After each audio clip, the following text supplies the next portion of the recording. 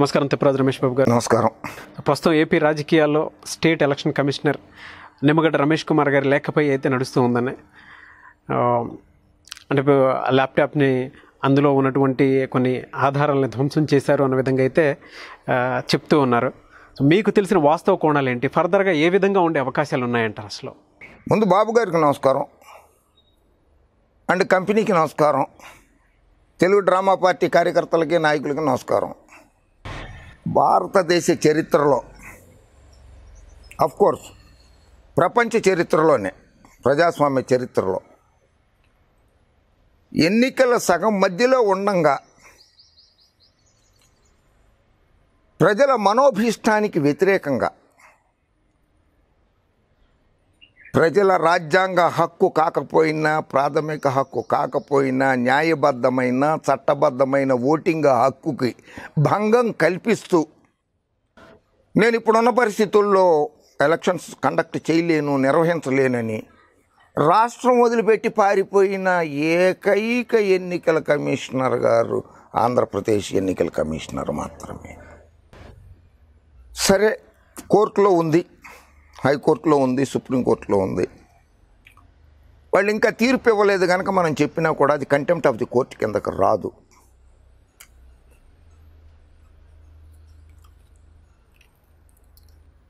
ఆయన ఎన్నికలు రెండు వేల పద్దెనిమిదిలోనే నిర్వహించాలి. ఎందుకు నిర్వహించలేదు? ఒక లక్ష నలభై ఏడు వేల నాలుగు వందల డెబ్బై ఏడు పంచాయతీలకి ఆంధ్రప్రదేశ్లో ఎన్నికలు నిర్వహించాలి రెండు వేల పద్దెనిమిదిలో. చంద్రబాబు గారు అప్పుడు ముఖ్యమంత్రి. ఎందుకు నిర్వహించలేదు? ఆ కారణం ఎందుకో చెప్పచ్చా? కోర్టులో చెప్తారండి. హైకోర్టులో పిటిషన్ వేశారు కదా మీరు? హైకోర్టుకి విన్నవించండి. రెండు వేల పద్దెనిమిదిలో ఐదు సంవత్సరాల గడువు ముగిసిపోయినా కూడా ఎన్నికలు ఎందుకు జరపలేదు? ప్రజల ప్రాథమిక హక్కుని రాజ్యాంగాన్ని ఎందుకు ఉల్లంఘించారో రాజ్యాంగం మీద ప్రమాణం చేసి రాజ్యాంగబద్ధ పదవి అనుభవిస్తున్న నిమ్మగడ్డ రమేష్ కుమార్ గారు స్టేట్ ఎన్నికల కమిషనర్ గారు. మీరే రాష్ట్ర ప్రజలకి న్యాయదేవతకి జవాబు చెప్పండి. ఎందుకు జరపలేదు రెండు వేల పద్దెనిమిదిలో ఒక లక్ష నలభై ఏడు వేల నాలుగు వందల డెబ్బై ఏడు పంచాయతీలకి ఎన్నికలు ఎందుకు జరపలేదు? సరే సుప్రీంకోర్టు హైకోర్టులు చెప్పిన తర్వాత ఎన్నికలు జరిపారు. దానికి తోడు ఎన్నికలు పంచాయతీ ఎన్నికలు మున్సిపాలిటీ ఎన్నికలు జరగకపోతే ఫోర్టీన్త్ ఫైనాన్స్ కమిషన్ రాష్ట్రాలకి పంచాయతీలకి ఇచ్చే నిధులు మురిగిపోతాయి. నిధులు రావు. అంటే కేంద్రం నుంచి రాష్ట్రానికి గ్రామాల అభివృద్ధికి ప్రజల అభివృద్ధికి ప్రజల సంక్షేమానికి రావాల్సినటువంటి నిధుల్ని అడ్డుకునేది ఈ రాజ్యాంగంలో తమరికి ఏ అధికారణ అధికారం ఇచ్చింది నిమ్మగడ్డ రమేష్ కుమార్ గారు? నాకు రాజ్యాంగంలో ఏ ఆర్టికల్ మీకు ఇచ్చింది ఏ ఏ అధికారం ఇచ్చిందో నాకు చెప్పండి. ప్రజలకు రావాల్సిన సొమ్ముని రాష్ట్రానికి రావాల్సిన కేంద్రం నుంచి రావాల్సిన సొమ్ముని అడ్డుకుని అడ్డుకునేందుకు ప్రయత్నం చేసినటువంటి మిమ్మల్ని ఏమని పిలవాలి? అడ్డుకునేందుకు మీకు రాజ్యాంగం ఏమన్నా సపరేట్గా ఒక హక్కు కల్పించిందా ఎన్నికల కమిషనర్లకి? లేదు. మీరు చేసింది రాష్ట్ర ప్రజలకి ద్రోహం. సరే మీరు అంటున్నారు నా ప్రాణానికి ముప్పు నా కుటుంబ ప్రాణాలకి ముప్పు. రక్షణ కల్పించండి మహాప్రభు అని వేడుకున్నారు. ఎవరిని వేడుకోవాలి? ఐఏఎస్ చదివారే. పంతొమ్మిది వందల డెబ్బై ఎనిమిది బ్యాచ్ అనుకుంటా మీరు. డెబ్బై ఎనిమిది ఎనభై ఎనిమిది తొంభై ఎనిమిది రెండు వేల ఎనిమిది రెండు వేల పద్దెనిమిది నా దాదాపు యాభై సంవత్సరాలు విధులు నిర్వహించారు. జూ ఫస్ట్ క్లాస్ మెజిస్ట్రేట్గా కూడా మీరు వ్యవహరించవచ్చు ఐఏఎస్ చదివిన వాళ్ళు. అటువంటిది శాంతి భద్రతలు ఎవరి చేతిలోకి ఉంటాయి? రాష్ట్ర పరిధిలో ఉంటాయి. రాష్ట్ర పరిధిలో ఉంటాయి. అంటే రాష్ట్ర ముఖ్యమంత్రి గారికి విన్నవించాలి. నా ప్రాణానికి హాని కలుగుతుంది మీ కార్యకర్తల వల్ల వైసీపీ కార్యకర్తల వల్ల. కనుక నాకు ప్రాణహాని ఉంది నా కుటుంబ సభ్యులకు ఉంది కనుక నాకు బలగాలు ఇవ్వండి అని చెప్పి లేఖ రాయండి ముఖ్యమంత్రి గారికి. ఆయంత సొయ్యలేదా మీకు? ఆ జ్ఞానం లేదా? సరే మిమ్మల్ని అపాయింట్ చేసింది ఎవరు? ఎన్నికల కమిషనర్గా గవర్నర్ గారు. గవర్నర్ గారు ఉన్నారు. గవర్నర్ గారు ఎక్కడికి పారిపోలేదు. ఆంధ్రప్రదేశ్లోనే ఉన్నారు ఆయన. ఆ గవర్నర్ గారికి విన్నవించవచ్చు కదా రాష్ట్రంలో శాంతి భద్రతలు లేవు. నా ప్రాణానికి ముప్పు ఉన్నది. నా ప్రాణానికి నా కుటుంబ ప్రాణానికి నాకు రక్షణ కల్పించండి అని చెప్పాలి కదా. ఆ బాధ్యత కూడా మర్చిపోయారు మీరు. అయిపోయింది. ముఖ్యమంత్రిగా అడగలేదు గవర్నర్ని అడగలేదు. అంటే ముఖ్యమంత్రి అన్నా గవర్నర్ అన్నా కానీ ఏదో కొమ్ములు పొడుచుకొచ్చినాయ్యా మీకేమన్నా రాజ్యాంగబద్ధ స్టేట్ ఎలక్షన్ కమిషనర్ అయినంత మాత్రాన? నేను కట్టే పన్నులు ఆంధ్ర రాష్ట్ర ఐదు కోట్ల నలభై లక్షల మంది కట్టే పన్నులతోటి జీతం తీసుకుంటున్నారు కనుక మిమ్మల్ని ప్రశ్నించే అధికారం అందరికీ ఉంటుంది. అది గుర్తుపెట్టుకోండి. అరే రే రే రే రే. మన ఇంట్లో ఒక వ్యక్తి సెలవు పెడతాను మన పని మనిషో లేకపోతే ఒక ఆఫీసులో పనిచేసే ఉద్యోగం మీ ఎన్నికల కమిషన్లోనే మీ స కార్యదర్శో మీ పిఏనో మీ పిఎస్ఓ సెలవు పెట్టాలంటేనో లేకపోతే ఒక నాలుగు వారాలు సెలవు కావాలంటేనో మిమ్మల్ని అడుగుతారు కదా. అలాగే ఎన్నికలు వాయిదా వేస్తున్నానని ముఖ్యమంత్రి గారికి చెప్పాల్సిన బాధ్యత లేదా? లేదు ముఖ్యమంత్రి గారంటే ఇష్టం లేదు వైఎస్ఆర్సీపీ అంటే ఇష్టం లేదు జగన్మోహన్ రెడ్డి గారంటే పడదు. కొన్ని గవర్నర్ గారు ఉన్నారు. ఆయన కూడా మీలాగానే రాజ్యాంగబద్ధం మీద ప్రమాణం చేసి రాజ్యాంగబద్ధమైనటువంటి వ్యక్తే కదా. ఆయనకి ఎందుకు చెప్పలేదు? ఓహో ఫోర్జరీ చేసి సంఘ సంతకాలతోటి వచ్చిన లేఖలు అవన్నీ ఇప్పుడు వినండి. ఎన్నికల కమిషనర్ గారు మీరు చేసిన నిర్వాకము ఇప్పుడు వార్తల్లో వస్తున్నటువంటి ప్రముఖంగా వినిపిస్తున్నటువంటిది ఫోర్జరీ డాక్యుమెంట్ మీరు రాసిన లేఖ. మీ సంతకాన్ని ఎవరో ఫోర్జరీ చేశారు అని చెప్పి విజయసాయిరెడ్డి గారు చెప్తున్నారు. దాని మీద విజయసాయిరెడ్డి గారు రాష్ట్ర డీజీపీ గౌతమ్ సావంగ్ గారికి లేఖ రాశారు. పద్నాలుగు నాలుగు ఇరవై ఇరవైన DO letter number VVSR oblique signature forgery oblique complaint oblique twenty twenty. అని చెప్పి విజయసాయి రెడ్డి గారు లెటర్ రాశారు మీకు. మీ ఫోర్జరీ అని చెప్పి. దాని మీద గౌతమ్ సావం గారు సిఐడి ఎంక్వైరీ కూడా వేశారు. అందులో గనక నిజానిజాలు తేలితే section four sixty three of Indian penal code Indian penal code భారత శిక్షా స్మృతి అంటారు తెలుగులో. ఎందుకంటే తెలుగు మీడియాన్ని అభివృద్ధి పరుస్తారు కదా మీ మీ కుడి భుజాలు ఎడం భుజాలు అందరూ. భారత శిక్షా స్మృతి అంటారు. ఇండియన్ పీనల్ కోడ్ నాలుగు వందల అరవై మూడు నుంచి నాలుగు వందల డెబ్బై ఏడు వరకు అరవై మూడు అరవై నాలుగు అరవై ఐదు అరవై ఆరు అరవై ఏడు అరవై ఎనిమిది అరవై తొమ్మిది డెబ్బై డెబ్బై ఒకటి డెబ్బై రెండు డెబ్బై మూడు డెబ్బై నాలుగు డెబ్బై ఐదు డెబ్బై ఆరు డెబ్బై పదిహేను రకాల సెక్షన్లు. దానికి తోడు ఐపీసీ వన్ ట్వంటీ బి పద్దెనిమిదో section one plus eight is equal nine పద్దెనిమిది సెక్షన్లు. ఒక్కొక్క సెక్షను ఒక సెకండ్ పాటు చదువుతాను. ఎన్ని రోజులు ఎన్ని సంవత్సరాలు శిక్ష పడుతుందో మీకు మీ అండుకో కంపెనీ మీకు సహాయ సహకారాలు అందించిన పచ్చ పిచ్చి పార్టీ నాయకులు పచ్చ పిచ్చి గొట్టాల వాళ్ళకి ఎంతకాలం శిక్ష పడుతుందంటే nineteen section four sixty three of Indian penal code deal with the offences relating to the forgery forge documents and making or processing counterfeit seal etc with intent to commit forgery. And read with 466 464 whoever makes any false document or electronic record or electronic record అంటున్నారు కదా? Electronic record computer ధ్వంసం చేయటము pen డ్రైవ్ని ఇది రుబ్బు రోల్లో వేసి రుబ్బేయటము అలాంటిది అనమాట electronic record or part of document or electronic record with intent to cause damage to injury to the public అంటే ప్రజలకి ఆర్ ఎనీ పర్సన్ ఏదైనా ఒక వ్యక్తికి. Or to support any claim or title or to cause any person to part with property or to enter into any express or implied contract or with intent to commit fraud or that fraud may be committed commits forgery. దీనికి మూడు రెండు సంవత్సరాల జైలు శిక్ష ఐదు వేల రూపాయల fine వెయ్యొచ్చు రెండు కలిపి కూడా వెయ్యొచ్చు four sixty five Indian penal code భారత శిక్షా స్మృతి నాలుగు వందల అరవై ఐదు. Whoever commits forgery shall be punished with imprisonment of either description for a term of which may extend to two years or with fine or with both fine వేయచ్చు జైలు శిక్ష విధించవచ్చు రెండు సంవత్సరాల పాటు ఫోర్జరీ చేసినందుకు. నాలుగు వందల ఇరవై అరవై ఐదు four IPC four sixty five ప్రకారమే సార్. ఇంకా చాలా ఉన్నాయి. Four sixty six Indian penal code.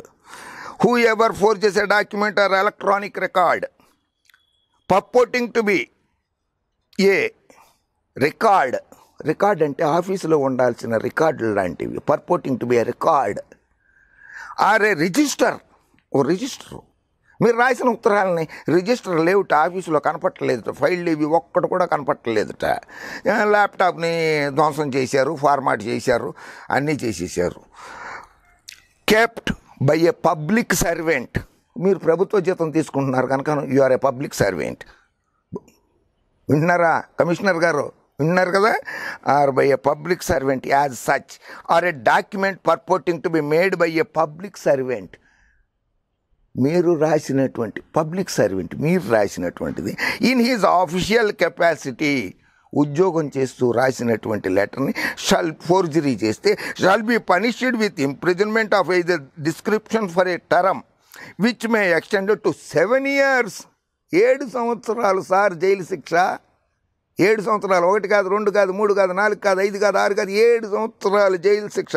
And also be liable to fine fine కూడా వేయచ్చు. ఏడు సంవత్సరాలు జైలు శిక్షతో పాటు. అబ్బా రెండు రెండు నాలుగు రెండు ఆరు ఏడు పదమూడు సంవత్సరాలు అయింది ఇప్పటికి. ఆగండి సార్ అప్పుడే కాలేదు సార్. ఇంకా చాలా ఉన్నాయి మీరు చేసిన తప్పులు. వాటికి ఇవన్నీ వస్తాయి అప్లికబుల్ ఇవన్నీ. IPC four sixty nine Indian penal code four sixty nine section ప్రకారంగా whoever commits forgery intending that the document or electronic record for forged shall harm the reputation of any party or knowing that it is likely to be used for that purpose shall be punished with imprisonment of either with a term which may extend to three years and shall also liable to be fined. Four sixty nine ప్రకారంగా మూడేళ్ళు వేయచ్చు sir fine కూడా వేయచ్చు sir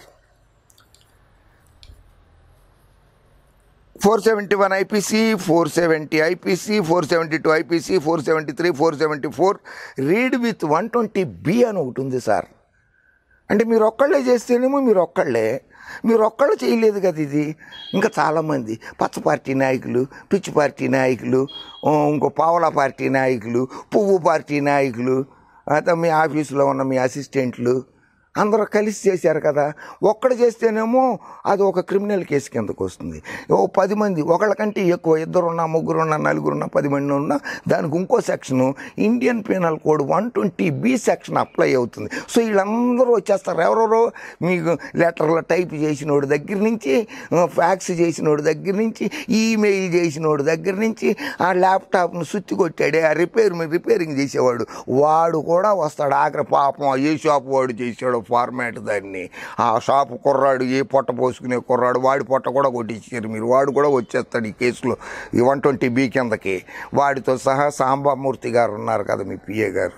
ఆయన రోట్లు వేసి రుబ్బేసి అని ఆయన చెప్పాడు కదా అది పెన్ డ్రైవ్ని వాటిని. వాళ్ళు కూడా వచ్చేస్తారు. వీళ్ళందరూ వన్ ట్వంటీ బీ కిందకు వస్తారు. దాన్ని అది చదువుతాను నేనండి supreme court judgment. It is clear. It is clear that only the one who makes a false document can be held liable under the aforesaid provisions. Ibrahim and others versus state of బీహార్లో supreme court ఇచ్చిన judgement రెండు వేల తొమ్మిదిలో eight SCC seven fifty one పేజీలో ఉన్నది sir. Ramesh Kumar గారు చదువుకోవచ్చు sir. ఈ ఫోర్జరీ డాక్యుమెంట్స్ మీద సుప్రీంకోర్టు తీర్పు సార్ అది. అలాగే Sheela Sebastian versus R Jawahar Raj. Criminal appeal number three fifty nine three sixty oblique of two thousand ten May eleventh రెండు వేల పద్దెనిమిది నాడు జస్టిస్ ఎన్వి రమణ గారు తీర్పిచ్చారు సార్ ఫోర్జరీ డాక్యుమెంట్స్ మీద. అది కూడా చూడండి సార్ ఒకసారి. వన్ ట్వంటీ బిఐపిసి అని చెప్పాను కదా దాంట్లో చూడండి. Whoever is a party to criminal conspiracy criminal conspiracy to commit an offence punishable with ఇం డెత్ ఆర్ ఇంప్రిజన్మెంట్ లైఫ్ అయితే ఇది మర్డర్ కేసు కాదు. అందుకని మీకు మరణశిక్ష పడదు. అబ్బాయి దీనికి మాత్రం నేను హామీ ఇస్తాను. హామీ ఇస్తాను. దీనికి అబ్బాయి అబ్బాయి అబ్బాయి ఈ రూల్ ప్రకారంగా ఇందులో ఈ ఒక రూల్ ప్రకారం వన్ ట్వంటీ బిలో ఉన్న ఒక రూల్ ప్రకారంగా మీకు మరణశిక్ష లేదు లైఫ్ ఇంప్రిజన్మెంట్ లేదు. కాకపోతే whoever is a party with criminal conspiracy other than a criminal conspiracy committed and offence punishable as aforesaid shall be punished with imprisonment of either description for a term of not exceeding six months or with fine or both ఓ ఆరు నెలలు అయితే minimum అనమాట ఇది one twenty be కింద. ఆ పైన ఉన్న వాటిలన్నిటికీ మూడేళ్ళు ఐదేళ్ళు ఏడేళ్ళు అన్నీ కలుపుకుంటే దాదాపు లైఫ్ ఇంప్రిజన్మెంటే ఇరవై ఏళ్ళు. నమస్కారం. న్యాయదేవత కరుణిస్తే? చక్కగా ఇరవై ఏళ్ళు మీరు మీతో పాటు కొంతమంది పచ్చ పార్టీ నాయకులు రాజమండ్రి సెంట్రల్ జైల్లోనూ అక్కడ కూర్చుని చంద్రన్న చంద్రన్న చంద్రన్న చంద్రన్న భజన చేసుకోవచ్చు. హాయిగా మీరు అందరు కలిసి. గ్రూపుగా. అక్కడ క- కరోనా రాదు. ఏం భయపడకండి. అక్కడ కరోనా రానే రాదు. ఎందుకంటే కరోనా అని చెప్పి ఎలక్షన్లు వేసి ఇచ్చారు పోస్ట్ పోన్ చేసి ఇచ్చారు అక్కడ రాదు కరోనా. జైళ్ళలోకి రాదు అది. ఎందుకంటే అంత దొంగ నా కొడుకులు కదా ఉండేది. భయం కరోనాకి. దొంగలు చూస్తే భయం. ఎందుకంటే రాదు. మీరు కంగారు పడకండి అటు వెళ్ళిపోతురు కానీ.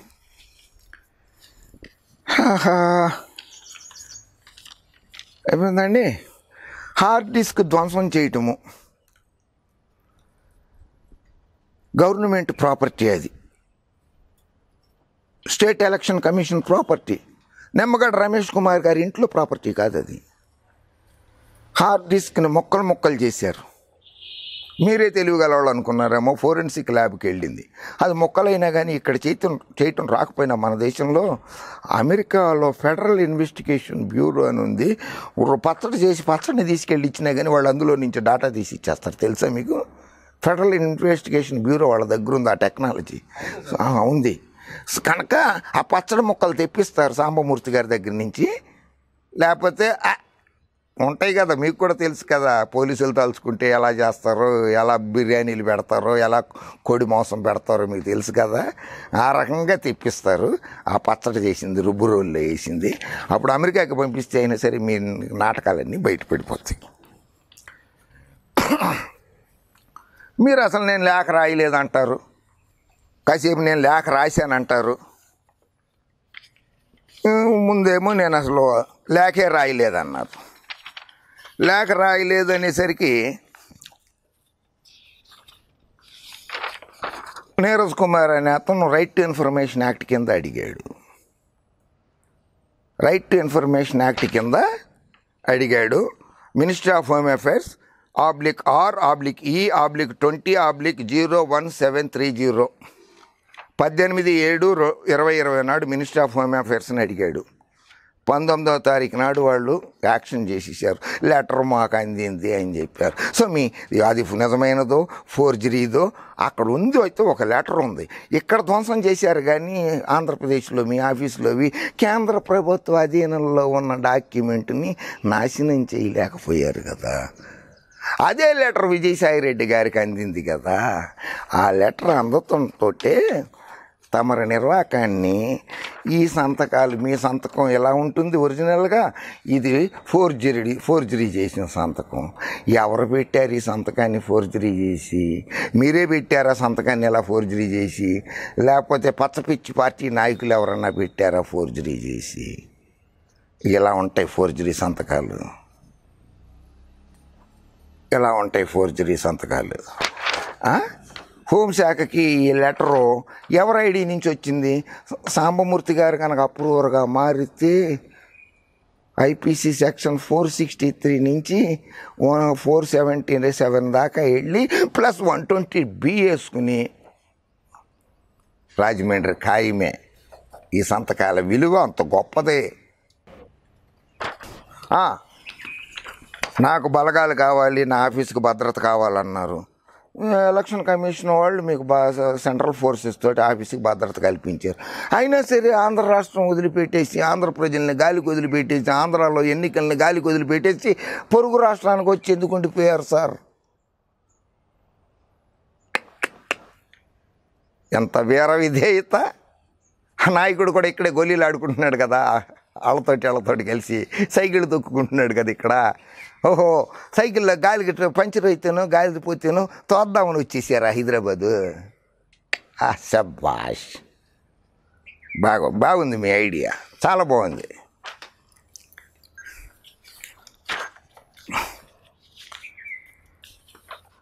మీరు ఏమన్నాయి వార్తా సంస్థకి ఇచ్చారే? చెప్పారు. ఏమని? Andhra Pradesh state election commissioner Nimmagadda Ramesh Kumar I haven't return any letter to union home secretary Ajay Bhalla which is being circulated in a section of media మీరు ఇచ్చింది ఇది నేను ఇచ్చింది కాదు. నేను అసలు లెటరే రాయలేదని చెప్పి ఏ వార్తా సంస్థకి మీరు ఇచ్చారు వాళ్ళ ట్వీట్ ఇది.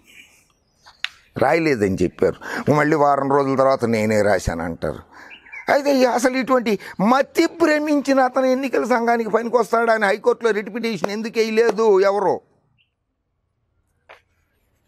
ఫోర్జరీలు చేసిన వాళ్ళు రాజ్యాంగబద్ధమైన పదవుల్లో ఉండకూడదు అని చెప్పి ఎన్నికల సంఘం ఎన్నికల పిటిషన్లో ఎందుకు వేయలేదు? ఎవరు హైకోర్టులో? వెయ్యండి నాయన ఎవరో ఒకళ్ళు. రాష్ట్రంలో ఐదు కోట్ల నలభై లక్షల మంది ప్రజలు ఉన్నారు. హైకోర్టులో వెయ్యండి ఒక పిటిషన్ వెయ్యండి మతి భ్రమించింది ఆయనకి. ఓసారి ఉత్తరం రాశానంటాడు ఒకసారి రాయలేదు అంటాడు. మరి ఏంటి ఆయన మతి భ్రమించిన? ఆయన రాజ్యాంగబద్ధమైన పదవికి అనర్హుడు కదా. ఫోర్జరీ సంతకాలు చేశారని సిఐడి విచారణ జరుగుతుంది అటువంటి క్రిమినల్స్ మీద రాజ్యాంగబద్ధంగా ఉన్న వాళ్ళ మీద ఎట్లా జరుగుతుంది అని చెప్పి ఓ పిటిషన్ పడేయండి. ఇది మీరు చీఫ్ సెక్రటరీ గారికి రాసిన లెటర్ ఇది. రమేష్ కుమార్ గారు. DO letter number two one two. SEC B one. 2020 7 dated 17 3 2020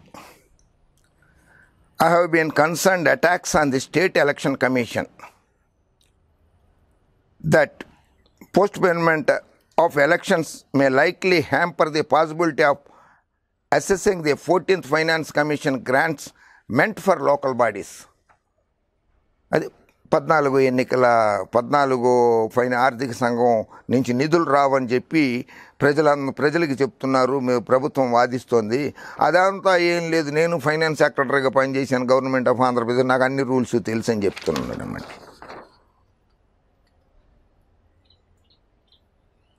నీలం సహాని చీఫ్ సెక్రటరీ ఆంధ్రప్రదేశ్కి రాసిన లేఖ ఇది ఆయన.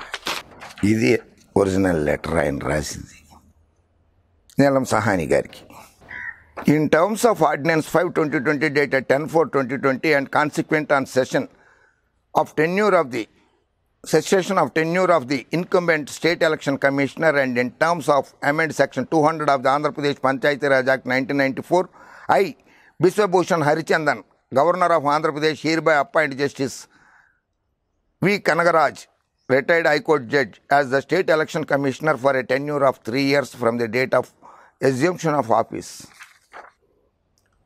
Ordinance మీద సంతకం పెట్టింది గవర్నర్ ఆఫ్ ఆంధ్రప్రదేశ్ గారు. వైఎస్ జగన్మోహన్ రెడ్డి గారు కాదు సంతకం పెట్టింది. సో జగన్మోహన్ గవర్నర్ గారిని కూడా మీరు కోర్టులో ఇంప్లీడ్ చేయాల్సింది కదా? ఎందుకు చేయలేదు? అది రిటైర్డ్ హైకోర్టు జడ్జి గారు కనుక ఆయన వచ్చారు ఆయన కూడా మీతో పాటు ఈ కోర్టులో ఈ పిటిషన్లకి ఇంప్లీడ్ అయ్యారు. ఆయన ఇంప్లీడ్ అయ్యారు కదా? ఆయన వాదించుకుంటారు ఆయన తరఫు వాదించుకుంటారు. మీ లాయర్ గారు వాదిస్తున్నారు కదా కొందరు. ఆయన ప్రమాణ స్వీకారానికి అయితే జట్ స్పీడ్లో వచ్చేసాడు చెన్నై నుంచి. మరి ఇప్పుడు మొన్న కోర్టుకు రాలేదు ఆయన.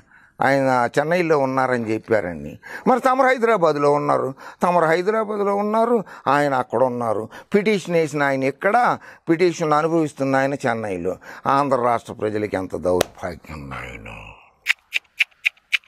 ఈ దుర్మార్గానికి అంత కారణం ఎవరు?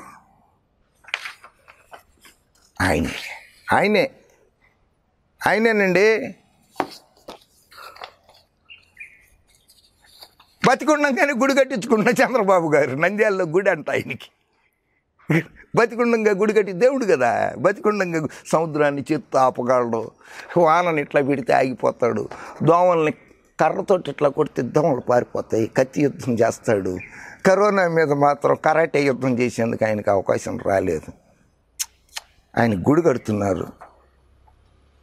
అంటే జైలుకి వెళ్ళొద్దని చెప్పి జైలుకి వెళ్ళకుండా కాపాడండి అని చెప్పి ఆ ఫోర్జరీ చే డాక్యుమెంట్లు చేసిన వాళ్ళందరూ ఆ నంద్యాలు వెళ్ళి ఆ గుళ్ళో కూర్చుని చంద్రన్న చంద్రన్న అని భజన చేసుకోండి అష్టోత్తరం చదువుకోండి ఆయన ఎవరు. ఆ గుళ్ళోకి వెళ్ళి. ఇదిగో నేనేం అబద్ధం చెప్పట్లేదు అఖిలప్రియ అఖిల ప్రియ గారు మాజీ మంత్రి గారు ఆవిడ పునాది రాయి వేశారు కడుతున్నారు ప్రోత్సహించారు. అది ఈ విషయంలో మాత్రం న్యాయ దేవత మాత్రం పూర్తిగా సహకరిస్తుందని జగన్మోహన్ రెడ్డి గారి ప్రభుత్వానికి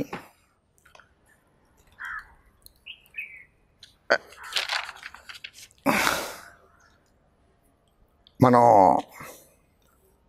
అనుకుందాము. అరే రే రే రే రే రే రే ఎలక్షన్ కమిషనర్ గారు. ఏంటి రమేష్ బాబు వదిలేశాడు అనుకుంటున్నారా? అబ్బాబ్బాబ్బా ఇండియన్ పీనల్ కోడ్లో ఇంకో సెక్షన్ ఉంది సార్ తమర మీద. చాలా భయంకరంగా ఉంటుంది అది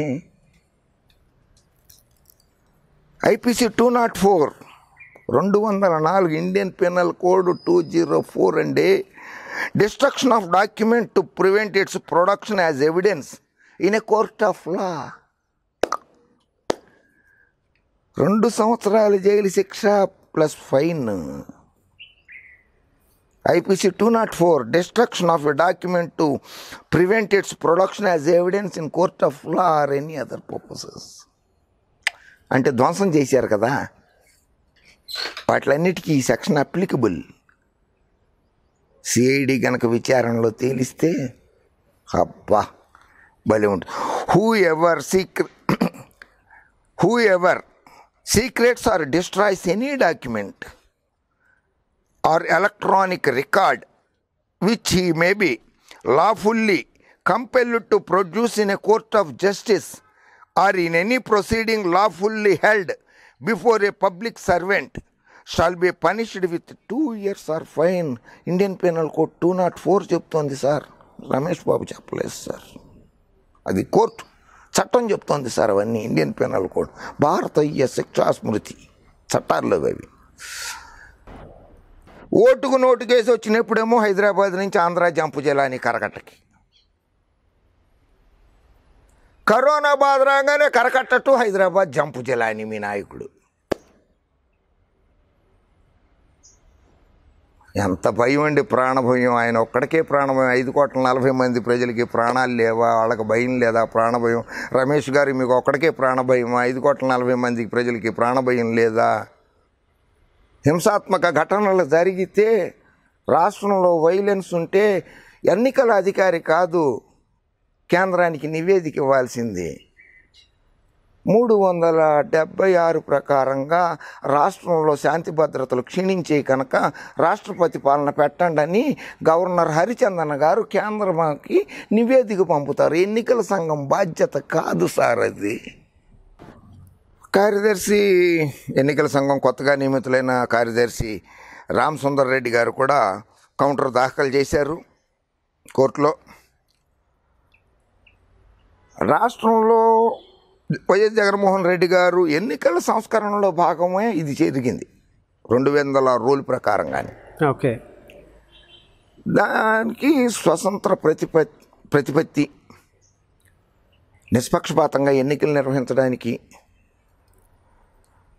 ప్రాణం పోసింది. ఆ చట్టంలో ఇంకేమేమి ఉన్నాయి మద్యం సీసాలు దొరికిన ఓటర్లను ప్రలోభ పెట్టడానికి డబ్బులు పంచిపెట్టినా అటువంటి వాళ్ళు ఎవరైనా గెలిస్తే వాళ్ళ ఎన్నికల్ని అనర్హులుగా ప్రకటిస్తామని కూడా చట్టంలో ఉంది. అంటే మీరు మందు నేను డబ్బు పంచడానికి మీ పార్టీ నాయకుడు మీరు అభిమానించే పార్టీ నాయకుడు చంద్రాల సార్ చెప్పినట్లు నడుచుకుంటారా మీరు? అంటే మద్యం ఏరులై పారై పారాలా ఆంధ్రప్రదేశ్లో? డబ్బులు ఇచ్చి కొనుక్కుంటారా ఓట్లు మీ పార్టీ మీరు సమర్థించే పార్టీ వాళ్ళు? మరిది ఆ- ఆ నిబంధనని కోర్టులో ఎందుకు సవాల్ చేయలేదు సార్? తప్పు సార్. పోలీసులు వెళ్ళారు. సిఐడి వెళ్ళింది ఎన్నికల కమిషన్ ఆఫీస్కి. ఎన్నికలు వాయిదా ఇస్తున్నామంటే ఒక లెటర్ అంటూ ఉంటుంది.